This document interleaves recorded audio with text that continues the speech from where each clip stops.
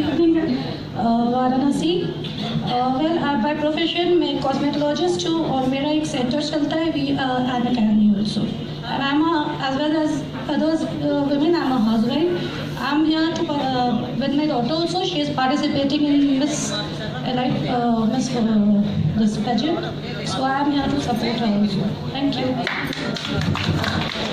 welcome Shweta ji ये बताइए कि आप इस प्लेटफॉर्म के ज़रिए अपने एज की फीमेल को या हाउस वाइफ है जो उनको कोई संदेश देना चाहती है? यस मैम बताइए क्या मैम मैं ये बोलना चाहती हूँ कि आज के डेट में कोई भी चीज़ इम्पॉसिबल नहीं है। अगर कोई भी इंसान लाइक औरतें या फीमेल्स जो भी है अगर वो कोई चीज़ ठान लें नथिंग इज़ इम्पॉसिबल